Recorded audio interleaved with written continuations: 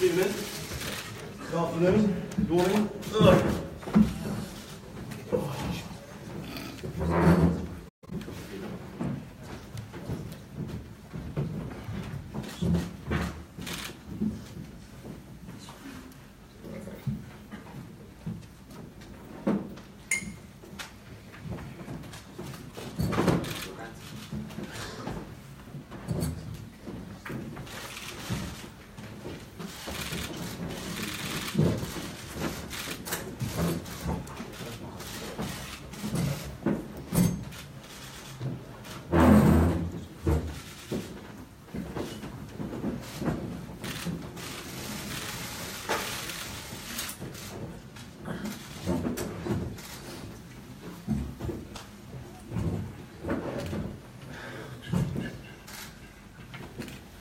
Good afternoon, a very warm welcome to the Park Plaza here uh, by Westminster Bridge, the central part of London, for a capital showdown. A fabulous rematch, one that uh, everyone has been hoping for. Uh, much anticipation, speculation whether it would happen or not after the wonderful event we had, the build up and the fight night itself at the O2 first time around. We've had great rematches, of course, over the years. The likes of Eubank and Benn and Tyson Holyfield, Gatti Ward, Morales Barrera. Some even go into trilogies.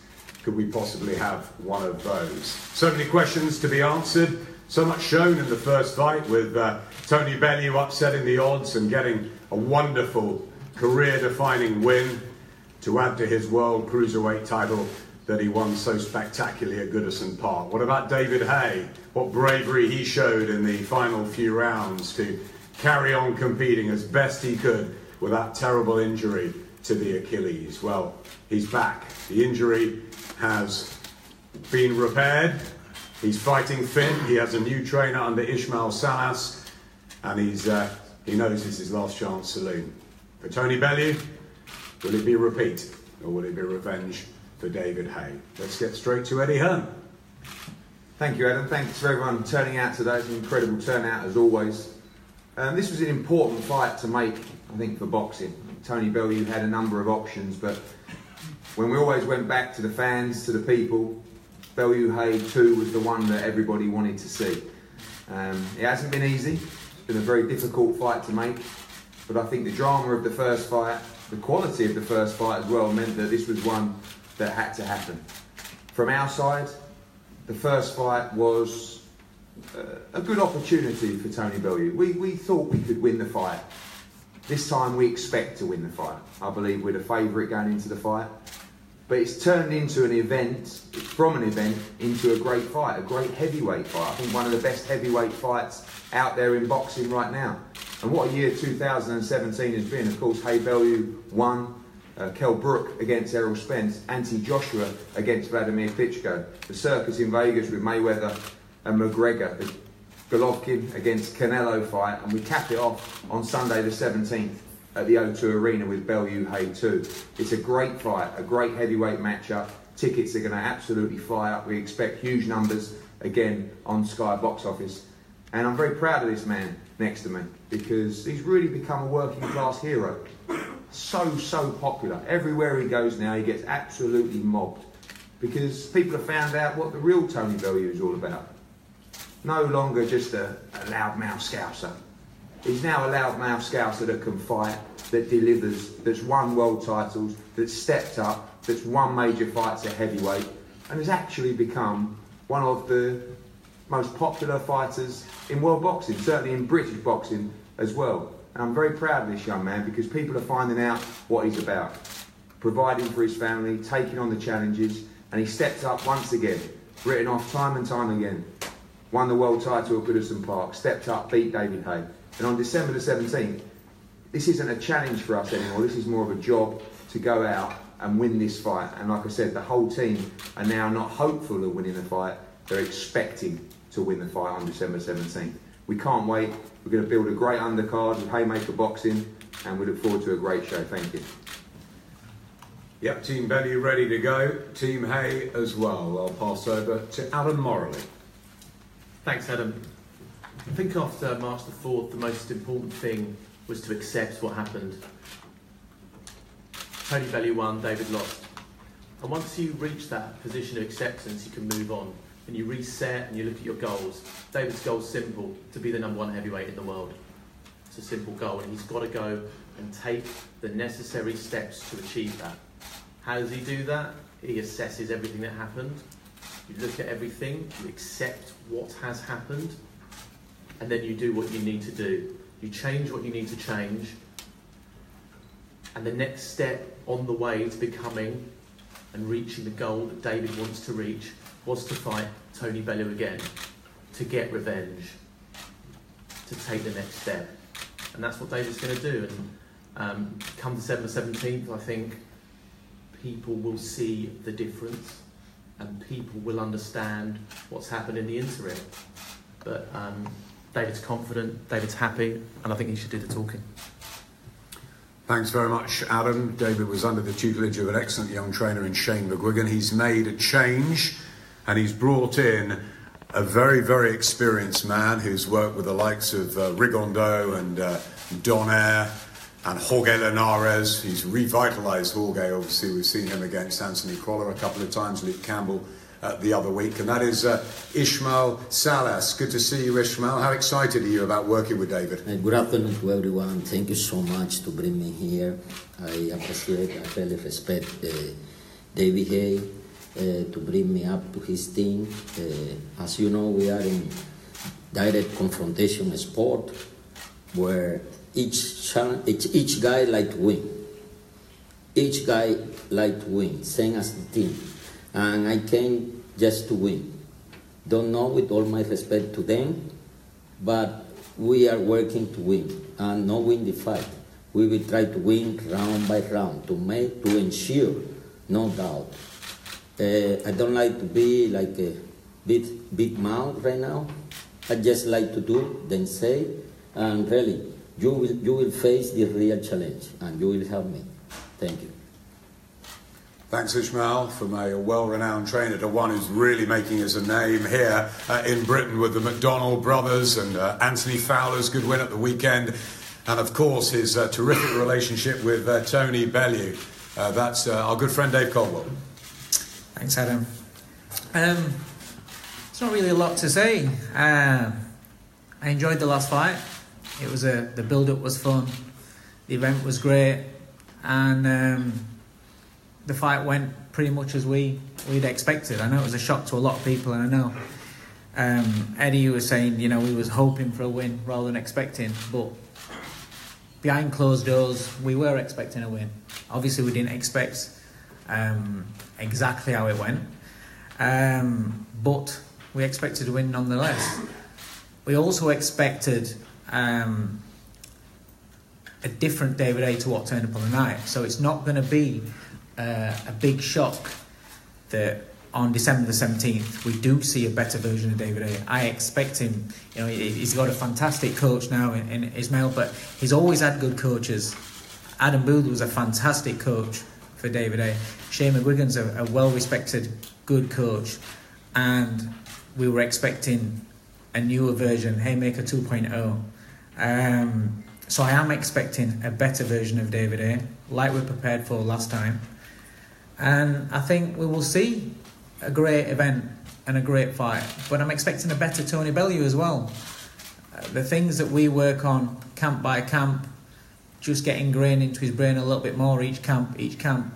So the familiarity, the regularity of training, the things that we're doing that we worked on for the previous fight, I'll just roll on into this fight. Couple with a few different things. Obviously, once you're in the ring with an opponent, you kind of get the measuring. Like David is with, with Tony, he'll take from, from that fight for himself. Tony will take things from David from being in the ring with him. So I, I expect a better fight all round from both fighters. I think it's going to be great for the fans. Um, we'll prepare to the best of our ability. David will prepare to the best of his ability, and um, it's going to be it's going to be fireworks. Obviously, I believe it's going to repeat. Like I believe that we were going to win the first fight. I think you'll see again you know, this fight had to happen because there's so many people that think that we fluked it and, you know, got lucky. Um, this is boxing. Anything can happen in boxing that it should. But, you know, as far as we're concerned, it's repeat.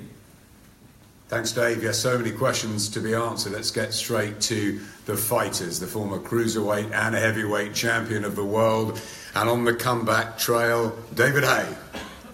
Uh, thanks, Adam. Uh, good afternoon, everybody. Um, very happy to be sitting here to announce this, um, this mega event on December 17th at the O2 Arena.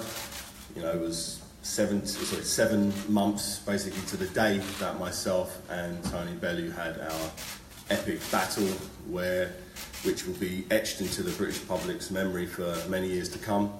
Uh, it was a great fight to be involved in. Everybody who was there watching live and everybody who tuned in via Sky Box, box Office got value for money. Everybody really did truly enjoy uh, the, the, the build up, the fight, and the aftermath. It left everybody with an opinion, and that's what you want in boxing. That's that's what takes boxing from you know just a, a, an average Saturday night or actually Sunday night. This fight's going on to a mega event that people remember forever.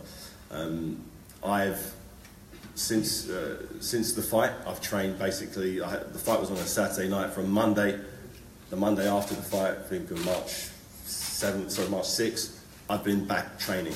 You know, there's only certain parts of my body I can train, but I've been working hard in the, with the mindset of I will fight again in December. Even before I even started my rehabilitation, I was always going to fight in December. I told myself, I told my body, I told my soul that I will be back in the ring before the end of the year, and I've done everything humanly possible um, to get back to where I believe I should be. I mean, I believe I'm in better shape, strangely now, uh, 10 and a half weeks out from uh, December 17th than I was walking to the ring.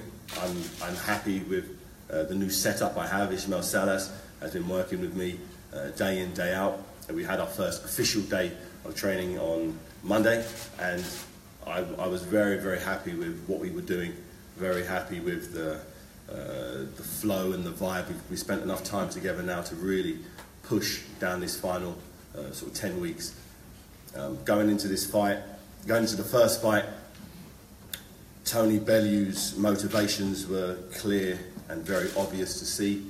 He wanted to secure his family, and for any athlete, any human being, that should always be uh, first and foremost in your mind and I'm very happy that that happened. You know, I was I co-promoted the event with uh, Eddie Hearn and Matchroom, and I know what Tony Bellew got paid for the first fight, and mission completed. He's financially secured for the rest of his life. He's a multimillionaire, and that's that's fantastic. He's, he's welcome to a, a very small uh, club of British boxers who have enough money to, where they don't have to box, they don't have to have a job. They can sit on the beach for the rest of their life, and they're comfortable. So, with that being said what I, I look, I asked myself, what are his motivations going into his second fight? He beat me the first time round, plain and simple. He got the victory. His hand was raised. My corner threw in the towel. He won the fight. I didn't believe I'd get this opportunity again. I genuinely thought I asked for it in the ring. I said, if you'd oblige a rematch, the fans want it. I didn't think it would happen. I genuinely didn't. I was look, looking at other options, but Tony, for, for some reason, um, wants to do it again, and you know, great. You know, people, you know, put their lives on the line. People get in the ring. He said on numerous occasions how dangerous boxing is. You know, and you know, people people rob banks to secure their family. They put their life on. They could get shot in the bank. They could you know, go to prison forever, but they do it to secure their family. That's a, re- a genuine reason people rob banks. And when you get away from when you rob the bank once, do you go back to the same bank again? When your family is secured, you go back to the same bank just to get a little bit more money. Maybe. Or is his hatred so bad for the, the clerk behind the desk that he wants to rob some more money? Maybe. I don't maybe it is. And if it is, when we're in the ring, when we're going toe to toe, is his desire to secure his family, which he's done now, as strong as him wanting to beat me? I don't know. This is, this, is up, this is up in the air. Nobody knows. Only people tuning in on December 17th will find out. Um, I know what my motivations are. They're to they're for revenge. I want to be the best fighter in the world at heavyweight. He's said clearly he doesn't want to fight Anthony Joshua. He doesn't want to fight Deontay Wilder because he doesn't believe he's big enough. So what? So I keep asking myself, why go back into the lion's den, you know, and do it again? Maybe it's for the fans. Maybe he loves the fans that much. He's going to put everything back on the line again. But once you rob a bank once, they get extra security cameras, they get extra security guards, they might move the safe. And uh, if you're that confident you can rob a bank twice, well, good luck to you. But I, I will not allow, I will not allow Tony Bellew to hear the final bell. Will not allow this to happen. I've, I'm doing everything humanly possible to make sure that doesn't happen. And I'm healthy. I'm very healthy. I'm in very good condition. As I said, every day since since the last fight, I've been working, focusing, analysing, and you're going to see. I've said it before, and I was wrong, but I believe I have the right pieces of puzzle in place to get the very best out of myself, and you'll see on December 17th, you know, the very best uh, David Haye. So tune in. It's going to be fun. Hopefully, uh, Tony Bellew has the same motivation he had for the first fight. I really hope so. Because if he does, we've got ourselves a fantastic fight, and every single person tuning in around the world will get their money's worth. So, thank you very much, and uh, I look forward to seeing you all on December 17th at the O2 Arena. Thanks, David. Let's get straight over to the man with the rocky story who won the World Cruiserweight title in front of his beloved uh, Everton Football Club fans, who then came to London as a massive underdog and prevailed again on that wonderful night for him at the O2. What is the motivation? What is the reason Tony Bellew has taken this? Let's hear from him.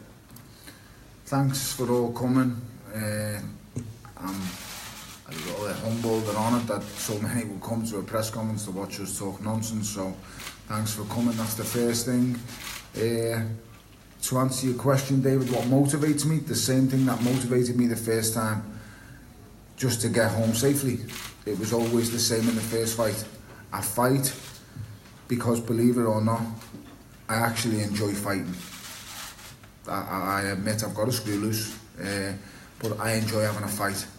I honestly say I don't enjoy the 12 weeks, well, this will be 14 week build up for this.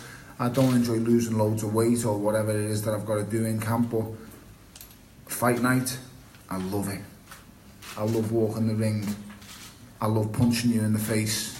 I love getting punched in the face. Some of the stupidest and craziest things I enjoy doing. I don't know why. Like I say, I've definitely got a screw loose. Uh, so the motivation is still exactly the same as it was in the first fight. When it comes to why did I take this fight, I mean, I just can't believe the analogy he's just used. Unbelievable. Robbing a bank, he's just. Uh, uh, it must be you've run out of insults for me or, or nicknames for me. I, I just can't believe you used that phrase, robbing the bank. I didn't rob no bank. I got in a boxing ring, I punched you senseless, and I got it, went home and kissed me kids and had a great night. So uh, I'm just going to do the same again. I don't know what kind of speech you're expecting from me, but I haven't got one. Uh, December the 17th, I will turn up and I will win again against all the odds once again. I know in my heart, deep down, and so does David, is he still doesn't rate me. He still thinks he's going to blast me and walk right through me.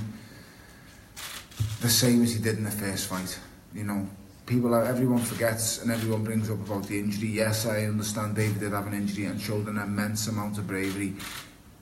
Although I goaded him in the first fight and said that he would, don't quit, don't quit. I knew he wouldn't quit. You don't get to the level that David Haye's got by quitting. You don't win the belts he's won by quitting. I knew he weren't going to quit. That's just all pretty much bravado.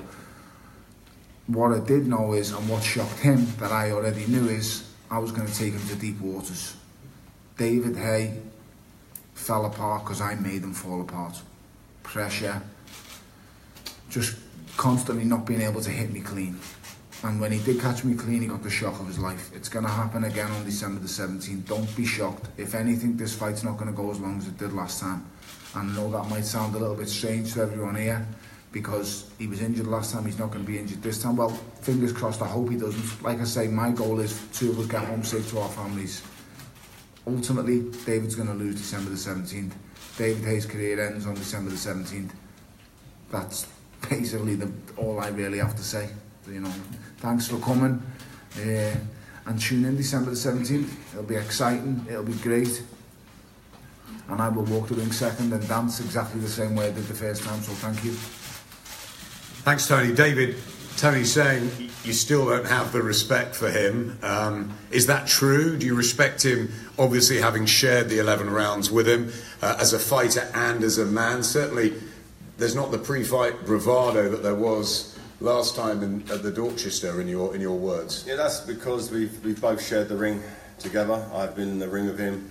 I've dished out my licks. I've received his. And you know, when you do that with somebody, you know, whatever respect wasn't there prior to the fight is there now. I know turning up in the same condition, mentally, physically, spiritually, to this uh, fight on December 17th, like I did on March the 4th, is not enough. I know that, and I know that because I have I've, I've learned learned to respect what he brings to the table. So, in terms of his boxing ability, his durability, his heart, his desire, if I if I if I don't assume they're all 10 out of 10, I'm only going to be under I'm going to underachieve. So I need to believe he's bigger, faster. I'm, I'm expecting him to be way quicker, way faster. His punch output to be double. His, his durability to be more. I'm, I'm anticipating uh, someone who's two inches taller than him, someone who throws quicker shots, counter punches. I'm, that's all I can do is just assume a much better version of Tony Bellew turns up. And I believe if that, if, if, if that does happen, I'll still be victorious on, on December 17th. But in terms of respect, yes, the respect's there. It has to be there. All you need to do is watch the first fight, and you you realise after the fight the respect was there. Did you make a massive mistake last time, underestimating him? I don't think I under. I, I've underestimated people in the past, and I didn't train hard. For instance, I trained very hard for the last fight. I was in. You can see I wasn't blowing. I was in. I was in good condition. Maybe I just mentally wasn't I, I, I, don't know, maybe I wasn't mentally where I needed to be to get the best out of myself. Learn that lesson, won't make it again. How confident are you that the injury is fully recovered and that the body is not going to break again? I'm very, I'm very, I'm very, very confident. You know, this uh, I got five rounds out of myself in the last fight. Uh, I'm already doing things in training that I couldn't do prior to the fight. So I, I, I'm super confident that there's going to be no no injuries whatsoever. I'm going to be, I'm be the best version of myself. That's all I can do. And I've, I've, I've worked day in, day out to make sure that on Monday just gone, I hit training camp for the first real day, working strategy, working timing, working rhythms. I'm in, I'm in good shape. I could fight tomorrow. If the, if the fight was tomorrow, I'm in good enough shape. I'm, I'm 12 round fit right now. And that's a good place to be going into camp all I need to do now is focus on the strategy, the technique, you know, the, uh, the, the, nuances that a lot of people don't understand about boxing. But come fight night, you will get it. You, you didn't see, you're going to see something very different than you saw the first time round in, uh, in, in, in the first fight. Dave mentioned that you've been with, with very good trainers, Adam Booth, Shane McGuigan, now with Ismael Salas. Is that because it is tactically so important to get this right from the opening bell? And, and are you going to come in lighter? Some people thought you weighed too much last time. Um, what I weigh, I weigh. I'm not. I'm a heavyweight, so I don't need to make a weight, or I don't need to be. Uh, I, have always been like this, you know. As long as I'm doing the training uh, that I need to do, as long as I'm sparring well, as long as I'm recovering, as, I'm, as long as I'm eating uh, all of the nutrients I need to eat to to recover and wake up the next morning fresh, I'll wait. You know, I'm I haven't got on the scales for for a while now, and when I get on the scales, fight night, I'll weigh what I weigh. But believe me, whatever I weigh, that's what I'm supposed to weigh. I'm not uh, going on some mad crash diet, or I'm not, you know, bulking, having loads of protein shakes, bulking myself up. I'm not doing any of that. I'm just eating a very, very nice, balanced diet, training very hard, sleeping plenty, and I'm just focused on focused on the fight. Tony, is this as dangerous a fight for you this time round, or the fact that you've gone through it once, does it fill you with the confidence, maybe not overconfidence, but the confidence that you can do this again and do it quicker? Uh, every fight's dangerous, Adam. David Haye is a vicious puncher who can end the fight in the first second of a fight, so that, that doesn't change. I'm prepared for the exact same. David Haye, brilliant at what he does uh, fast, good counter puncher, nice rhythm. The, the, the, I'm facing a brilliant fighter. It's as simple as that. Very, very dangerous, very, very powerful. Uh, I know, and David knows deep down that he doesn't rate me. So you know, he just nearly said it. Then he said he didn't underestimate me last time. He just repeated it again. Well, last time you said I was the worst world champion in world boxing. Last time you said you would drill me to the floor and it would be pretty quick. So if you didn't underestimate me last time, what has changed? I, I, I just don't get it, you You know. got the victory. That's what changed. You won. You won the fight. Of course, we That- both that's that's why I now rate you. But why? Prove to me in the ring that you were way better than I thought you was. But you've just said you didn't underestimate me. You've just said you didn't underestimate me. You've just repeated I, it. I, I didn't underestimate you in terms of putting my body through the graft and the hard work needed to be 12 round fit for a fight. Correct, I didn't underestimate you. I don't underestimate. I made that mistake years and years ago. I don't do that now. Now I make sure I'm very, very healthy. I'm I'm trained so well. Whatever happens in the fight, 12 rounds, I'm there. That's But why. in the So I didn't build-up- in the- underestimate- if I'd underestimated you, I wouldn't have trained. I wouldn't have trained as hard as I did, but I did, and that's why I was still. I, I understand 100%. I do think you trained hard. There you go. regardless So of if I the underestimated you, I wouldn't have trained hard. regardless of what the video said, but it's your personal, how you look. I understand how you look at me and what you think. You think you're just going to walk through me. And you know deep down you believe that because you, you're so egotistical, you cannot change. You will not change.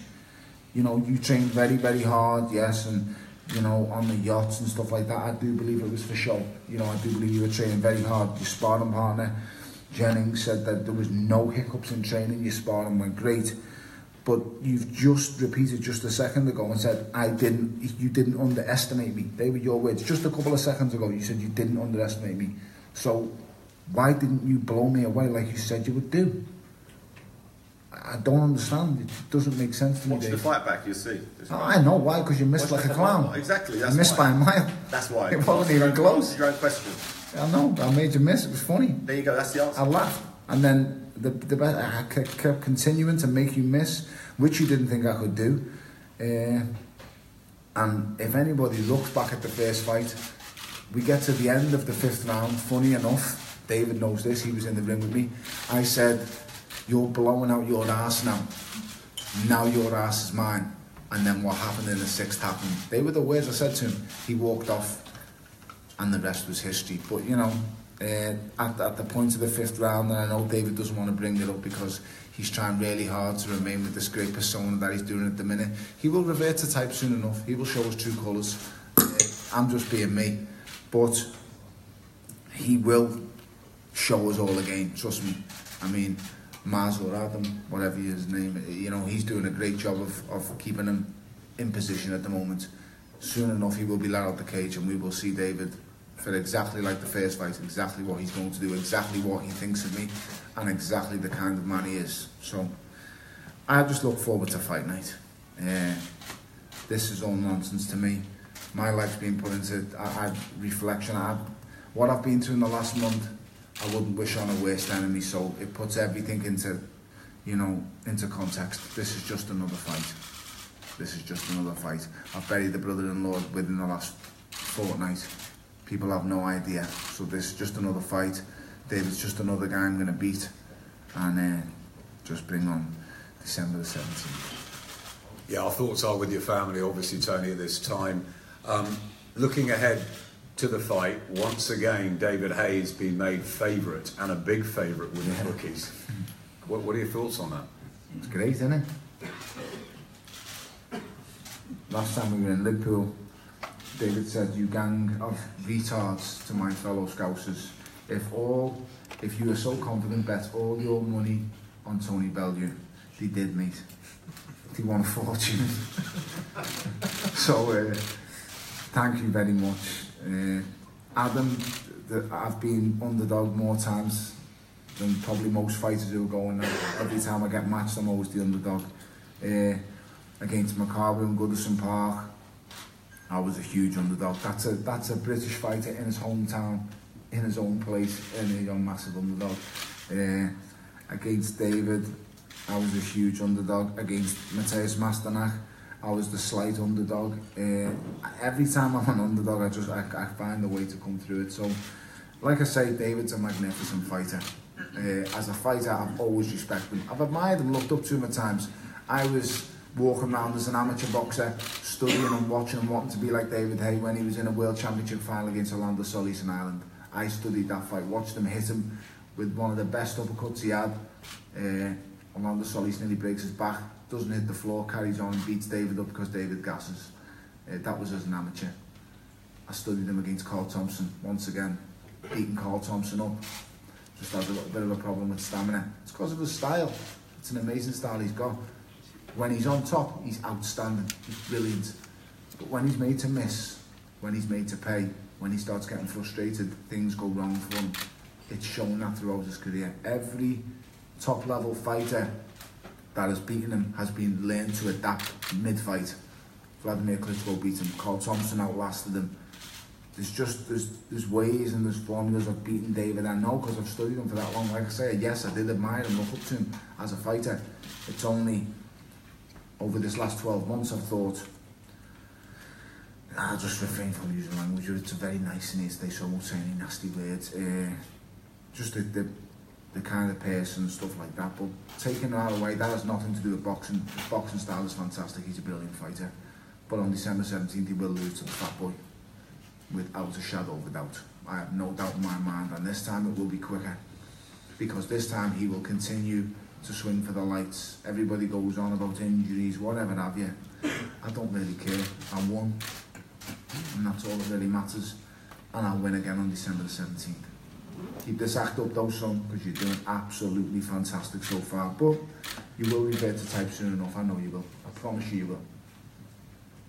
Finally, prediction time. Uh, David, can you justify the, those odds this time and, uh, and make it revenge and, and then possibly get into a trilogy or, or a dream fight with Anthony Joshua? What's your final say on it? Um, prediction for the fight is uh, you will not hear the bell for the final, for the, end of the fight. There will be no, It's all the same as last time. yeah, no, it's different from last time. Last time it was using. It's not last time you said you last time you said you'd leave me unconscious. Last time you said me And- me children will visit me in hospital. That's what you said. I'm just using your words, David, not mine. Last, that's what you said last time. So your prediction is the same as last time. So the prediction for me is Tony Bellew will not hear the final bell. Same. That's the prediction. How, what round, I don't know. Whenever it happens, it happens. Depends how much desire he has in the fight, in my opinion. I have more desire than you will ever know. Then Man like we're going to get into a great fight. Then it's going to go long. you me, the there is no quitting me. This is what's the scariest thing. There is no quitting me. Don't get me wrong. I know you're very, very similar with a similar mindset. That's why you've done what you've done and got as far as you've got. But if you remember that text message I sent you last November, it still stands. We ain't spoke since, but it's the exact same person is sitting right here. I will never quit. I will never give in. You'll have to put me asleep to beat me. You're capable of it, but you're not going to do it. I promise you. The only person who's going to lose this fight is you, and you're going to lose it in a, in a in a great fight, but you're going to lose it. You're just getting beat up. I can't wait to just just can't wait. I think that's the predictions done. Right, we'll have some uh, head-to-heads and then one-on-ones uh, afterwards. Sky Sports box office, December the 17th.